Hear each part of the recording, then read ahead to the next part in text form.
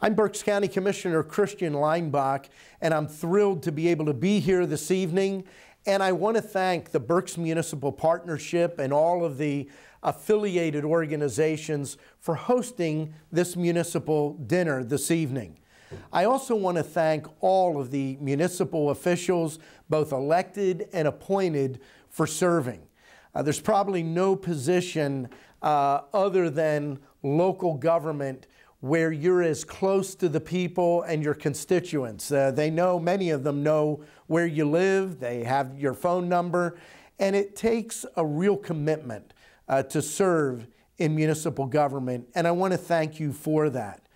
Uh, briefly, I just want to share one of the important areas of cooperation that county government and municipal government work together on a regular basis and the importance of continuing uh, that effort. And that's the area of economic development.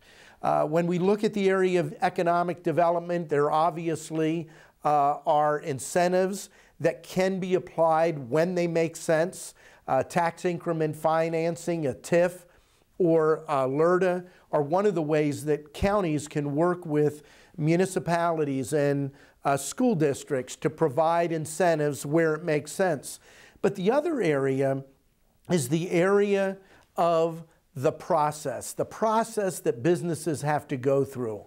Uh, the area of the approvals are really unique to Pennsylvania when we look at the process at the municipal level. And when we have businesses looking at expansion, whether they are already in our local communities or they're considering moving into the community, community, one of the area that is most important and concerns them the most is that process. And we can work together. Our County Planning Commission does a great job providing recommendations uh, on various projects. And I'm not talking about ignoring policy or ignoring law but making sure that we're doing what we can to help the tax base in our community.